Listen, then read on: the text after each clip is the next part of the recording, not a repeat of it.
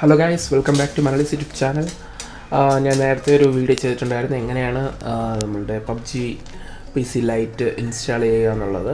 അതിൽ ഗെയിമിന്റെ ലാസ്റ്റ് നമ്മൾ കണ്ടതാണ്. ചെറിയൊരു എറർ വരുന്നുണ്ടായിരുന്നു. എറർ എന്ന് പറഞ്ഞു കഴിഞ്ഞാൽ ഇൻസ്റ്റലൈസേഷൻ ഓഫ് ആന്റി ചീറ്റ് എന്ന് പറയുന്നതാണ്. നമുക്കിപ്പോൾ ഈ ഗെയിം പ്ലേ കാണുമ്പോഴത്തേക്ക് അറിയാൻ പറ്റുക. ഇത് ഞാൻ ആ ഗെയിമിൽ തന്നെ കളിച്ച ഒരു ഗെയിം ഗെയിം പ്ലേ ആയിരുന്നു. നമ്മൾ ഗെയിം സ്റ്റാർട്ട് ചെയ്യുമ്പോഴത്തേക്കും ഒരു എറർ വരും. ഓക്കെ നമുക്ക് എറർ വരണ വരെയുള്ള ഒരു ഗെയിം പ്ലേ നമുക്ക് കണ്ടു നോക്കാം.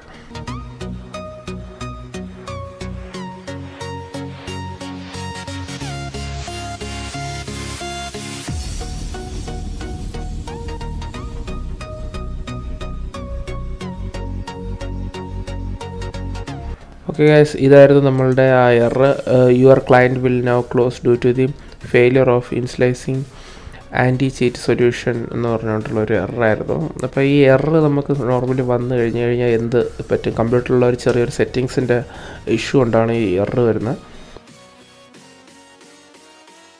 നമുക്ക് അത് എങ്ങനെ ഇതിനൊരു സൊല്യൂഷൻ കണ്ടുപിടിക്കുക അല്ലെങ്കിൽ ഇതിന് എന്താണ് സൊല്യൂഷൻ എന്നുള്ളത് നമുക്ക് നോക്കാം.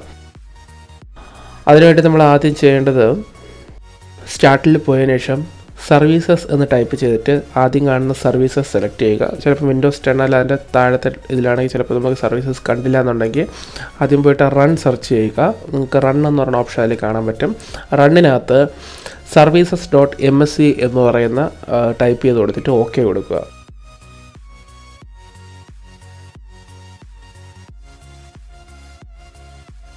ഈ ഓപ്പണായി വരുന്നതിനകത്ത് നിന്നും നമുക്ക് ആവശ്യമായിട്ടുള്ള ഫയൽ അതായത് ആ ഫയലിന്റെ പേര് ഞാൻ പറഞ്ഞുതരാം. നമുക്ക് ആവശ്യമായിട്ടുള്ള ഫയൽ എന്ന് പറഞ്ഞു കഴിഞ്ഞാൽ uncheater for battle ground slight എന്ന് പറയുന്ന ഫയലാണ് നമുക്ക് അതിൽ ആവശ്യപ്പെടുത്തേക്ക് നമ്മൾ യു എന്ന് പറയുന്ന ബട്ടൺ അമർത്തുമ്പോഴത്തേക്ക് ആദ്യം വരുന്നതായിരിക്കും uncheater for battle ground lite എന്ന് പറയുന്ന സാധനം.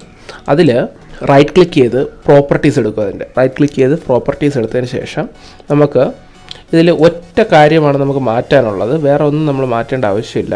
അതിൽ മാനുവൽ എന്ന് പറഞ്ഞ് കാണുന്ന ഫയലിനെ നമ്മൾ ഓട്ടോമാറ്റിക് ആക്കി കൊടുക്കണം.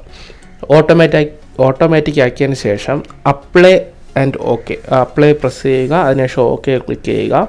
അതിനുശേഷം നമ്മൾ ഗെയിം റീ ഓപ്പൺ ചെയ്ത് കഴിഞ്ഞാൽ നമുക്ക് കാണാൻ സാധിക്കും. ഗെയിം ഓപ്പൺ ആവും. നമുക്ക് അത്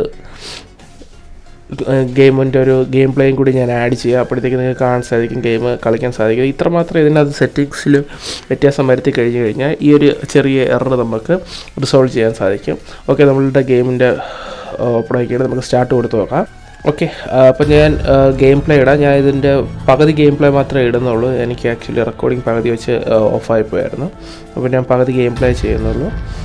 Okay guys enjoy the game. പിന്നെ ഞാൻ ആ ഞാൻ ഗെയിംസ് കഴിഞ്ഞ വീഡിയോയിൽ പറഞ്ഞിട്ടുണ്ടായിരുന്നു. ഞാൻ പി സി പബ്ജി കളിച്ചിട്ടില്ല. അപ്പോഴത്തേക്ക് ആ ഒരു ഇതിലോട്ട് ഞാൻ എത്തിയിട്ടില്ല. അപ്പോൾ എന്റെ ഫസ്റ്റ് ഗെയിം പ്ലേ ആണത്.